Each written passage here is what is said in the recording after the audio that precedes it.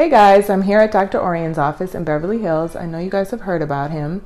After a lot of contemplating and doing my research, I've decided to go ahead with chin contouring. It's my first time.